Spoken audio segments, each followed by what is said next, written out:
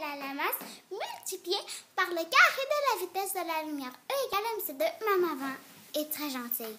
C'est moi, c'est ma maman qui m'a appris ça.